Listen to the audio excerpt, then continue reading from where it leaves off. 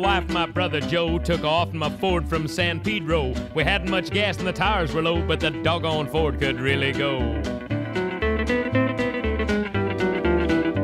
Now, along about the middle of the night, we were ripping along like plain folks might when a Mercury behind he blinked his lights and he honked his horn and he flew outside. We had twin pipes in the Columbia butts. You people may think that I'm in a rut, but to you folks who don't dig the jive, that's two carburetors and an overdrive.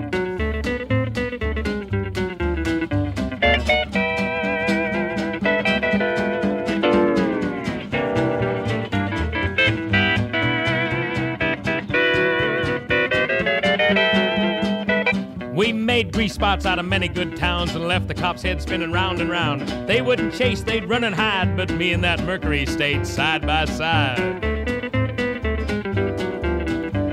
Now, we were Ford men and we likely knew that we would race until something blew, and we thought it over. Now, wouldn't you? Looked down at my lovely bride, her face was blue, I thought she died. We left streaks through town about 40 feet wide, but me and that Mercury stayed side by side. My brother was pale, he said he was sick, he said he was just a nervous wreck. But why should I worry for what the heck? Me and that Mercury was still neck and neck.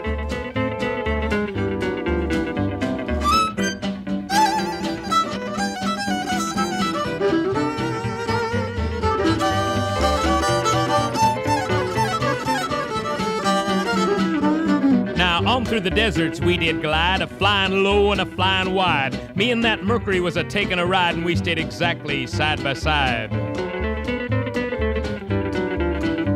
Then I looked in the mirror and I saw something coming, and I thought it was a plane by the way it was a running, humming along at a terrible pace, and I knew right then it was the end of the race.